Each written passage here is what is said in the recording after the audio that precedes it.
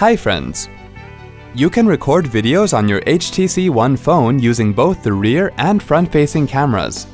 Here's how you can change the video camera from rear to front-facing.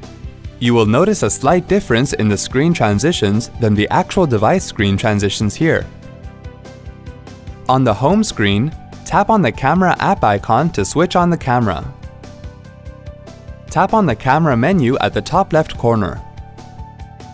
In the camera section, tap on front to change the camera from rear to front facing.